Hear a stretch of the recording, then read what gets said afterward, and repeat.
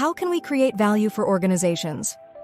Please note organizations refer to private or public, for profit or not for profit, government or non governmental.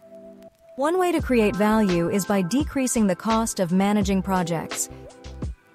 Consider this the overall organizational project management cost includes two primary components A.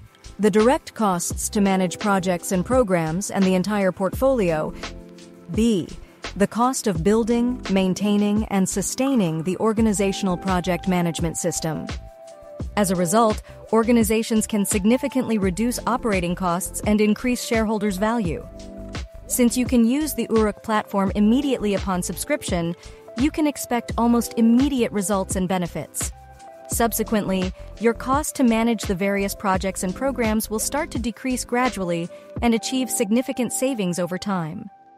By eliminating most of the cost of PMO OPM implementation and achieving immediate benefits and reductions in the cost to manage projects and programs, your organization could reduce operating costs significantly, optimize your capital deployment, and maximize shareholder value.